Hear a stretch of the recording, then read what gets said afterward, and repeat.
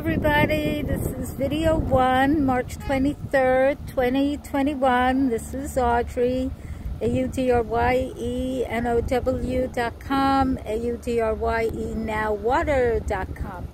So, I live in Florida. I live uh, outside of Fort Lauderdale, um, although things mailed to Fort Lauderdale will actually reach me. And in reading about some of what's going on out in Miami Beach, and I'm not running around, I am still doing that sheltering stuff.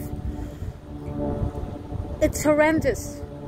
And I'm someone who likes to party when I party. And I still, well, not now, but I still go out dancing when, when, when it's safe and all that stuff.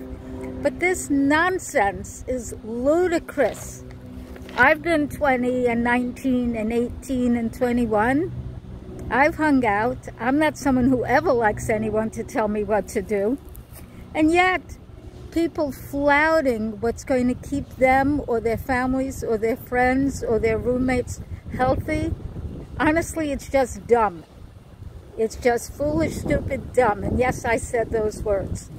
And the two young men who drugged, raped, and robbed a young woman and left her for dead, I can't even tell you how disgusting that is.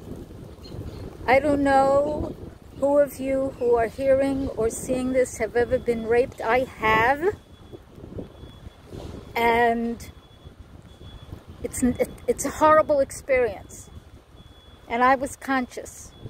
And I wasn't beaten. I had a knife held to my neck, which is why I went through the disgusting experience and I needed a bunch of healing and all of that. But this, this is gross. This is gross.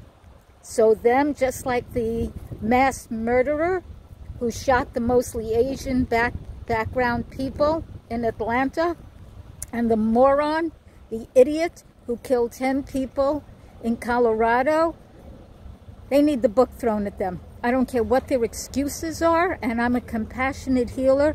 They need the book thrown at them. They need to be punished.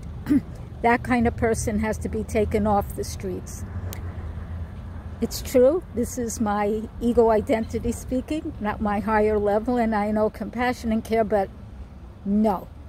These people have to be taken off the streets. Thank you. Bye-bye.